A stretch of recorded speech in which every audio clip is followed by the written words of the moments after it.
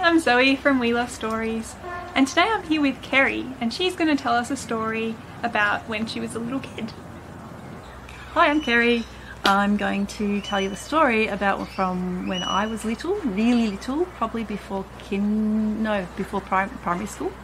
Um, and my mum and dad decided to leave Victoria and go on a big adventure up to Queensland so that my dad could find some work. Um, so we packed the tent and we drove all the way up. It was such a long drive. And we lived in a tent in a little caravan park at the start while my dad was trying to find work. And one of the things that my mum did um, to um, entertain us as, a, as kids is to send us out to find pine cones um, and little banksias um, so that we could bring them back and we would paint all the little inside bits in different tiny colours like this. And I had a little square tin paint pot um, which was kind of that big with lots of little squares of colours. A little bit like this but different. This one's round.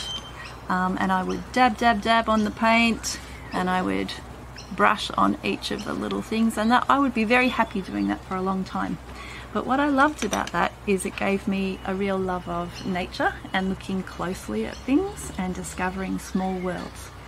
Um, and I love the Banksia the best because um, my mum used to read um, and Cuddlepie and they were always the grumpy Banksia men. They were always up to mischief um, in the stories.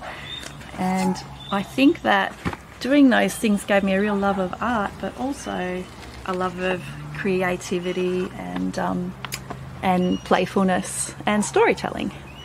So they were always cranky, the Banksia men.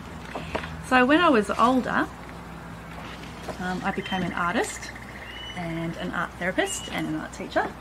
Um, and this is one of the drawings that I did, and it's called Little Me and the Magic Things.